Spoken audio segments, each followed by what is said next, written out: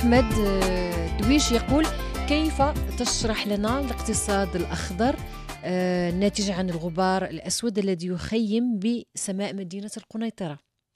هذا هذا موضوع ربما آه، استعمال بعض المواد الأحفورية هي التي أدت إلى إفراز هذا الاقتصاد هذا الغبار هذا. الأسود. وربما آه وربما الآن جات فرصة باش فعلا أن خاصة بعض. المحطات أيضا بعض المعامل التي تستعمل هذه الطاقات الأحفورية انها تغير من هذا النموذج ديال الاستعمال ديال هذه المواد هذه من نعم. أجل فعلا التفادي من هذه الأزمات لأن بحال هذه النماذج هذه تكلف ماشي غير تكلف الدولة أيضا تكلفها لأنه في حالة إحنا نتكلم على العلاقة ديال البيئة بالصحة نعم مهمة جدا وراء أن هذه النماذج ربما بفضل الاقتصاد الأخضر يجب أن نجد بدائل لمثل هذه صحيح. الإكراهات.